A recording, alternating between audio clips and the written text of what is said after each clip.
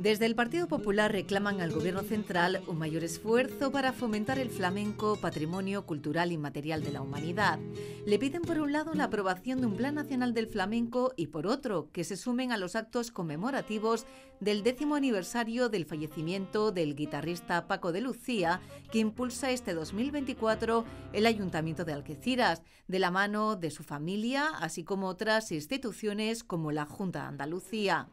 Lo han pedido este lunes desde Algeciras la portavoz de Cultura del PP en el Congreso, Sol Cruz Guzmán, junto al presidente local de los populares algecireños y alcalde, José Ignacio Landaluce, y la parlamentaria del Partido Popular, Pilar Pintor.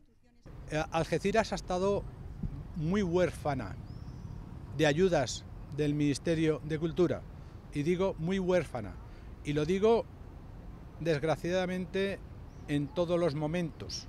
incluidos también los que no tenían que haber estado porque tenían que haber sido más solidarios con esta figura, con esta persona y con esta ciudad, con Algeciras. Pero bueno, es cuestión de rehacer lo que está mal hecho y nunca tuvo que ocurrir. Hagámoslo bonito, hagámoslo grande, hagámoslo bueno y hagámoslo realmente intenso y todo en torno a Paco de Lucía y lo que representa su figura. Le pedimos esas dos cosas, que se sumen a los actos conmemorativos del décimo aniversario de la muerte de Paco de Lucía y que, aunque tenemos unos presupuestos prorrogados, un gobierno en descomposición, el flamenco no puede estar abandonado. Y necesitamos que ese apoyo al flamenco y a, y a este centro de interpretación se haga efectivo de la manera posible. Así que desde aquí, desde Algeciras, pedimos al ministro Urtasun que se ponga a trabajar por el flamenco, porque los flamencos lo necesitan. De lo que viene es a sumar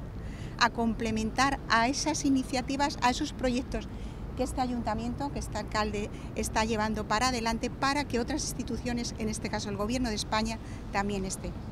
Desde el PP piden completar el Estatuto del Artista, con especial implicación para este arte, reconocen las peñas y los tablaos como espacios escénicos, así como fomentar su proyección internacional. Recuerdan que ya hace un año que fue aprobada la primera ley en ese sentido por el Gobierno andaluz del PP, la Junta de Andalucía, con medidas para su protección, conservación, difusión e investigación, así como la promoción de su conocimiento para su uso como bien social y patrimonio cultural y material de Andalucía.